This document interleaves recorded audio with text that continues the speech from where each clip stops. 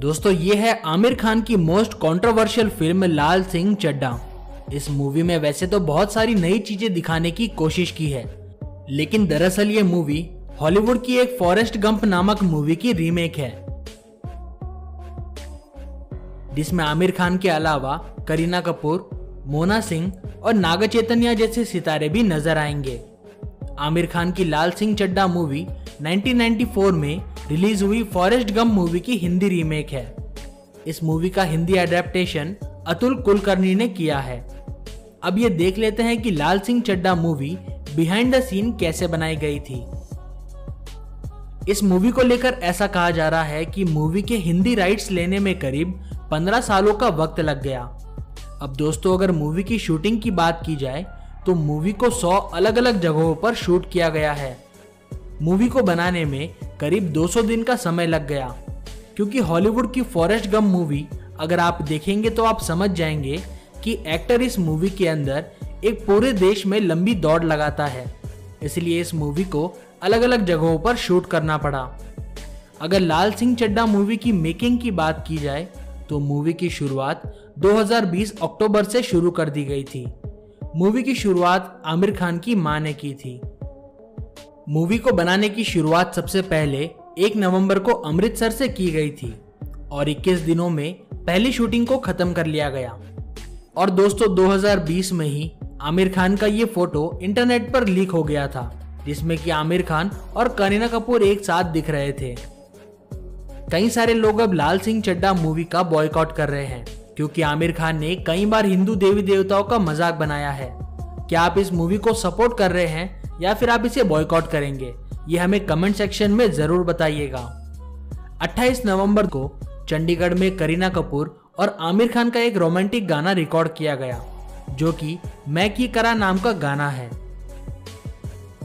अब दोस्तों, लाल सिंह चड्डा मूवी के दूसरे सेट की शूटिंग 5 दिसंबर 2020 को कोलकाता में शुरू किया गया। यहाँ पर दौड़ने का सीन शूट करने के बाद अगला सीन केरला में शूट किया गया। जहाँ पर आमिर खान बीच के पास में भाग रहे होते हैं और यहाँ पर इनकी दाढ़ी और बाल भी काफ़ी ज़्यादा बड़े हुए दिखाई देते हैं। इसके बाद में आमिर खान के दौड़ने का सीन जैसलमेर, गोवा और हिमाचल प्रदेश में भी शूट किया गया, क्योंकि इस मूवी में वो पूरे इंडिया में अलग अलग जगह दौड़ते हुए दिखाए जाते हैं। अब दोस्तों 6 मार्च को शूटिंग के अगले शेड्यूल को लद्दाख में शूट किया जाना था, लेकिन उसी समय पर भारत और चीन की झड़प होने की वजह से उस शूटिंग को टर्की में शिफ्ट कर दिया गया, जहाँ पर आगे की लड़ाई को शूट किया गया। इसके बाद में बचा हुआ सीन दिल्ली में शूट हुआ, जहाँ पर भारी लोगों की भीड़ के बीच में इस मूवी का एक पार्ट शूट किया गया। लाल सिंह चड्डा मूवी का रनिंग सीन इस मूवी का सबसे मेन सीन है। हॉलीवुड की फॉरेस्ट गंप मूवी से पूरी तरह कॉपी किए हुए लाल सिंह चड्डा में ज़्यादातर ऐसे ही दौड़ने का दिखाया जाता है।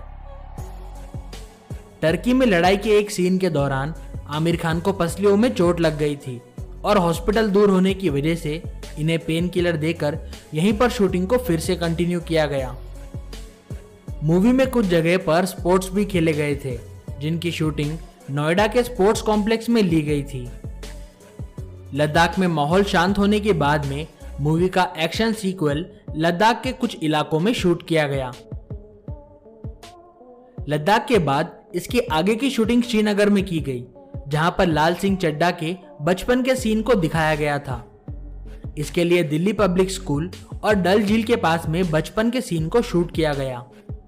मूवी में कई जगहों पर आमिर खान और नागा चैतन्य की मस्ती भरी चीज़ें सेट पर देखने को मिलती है।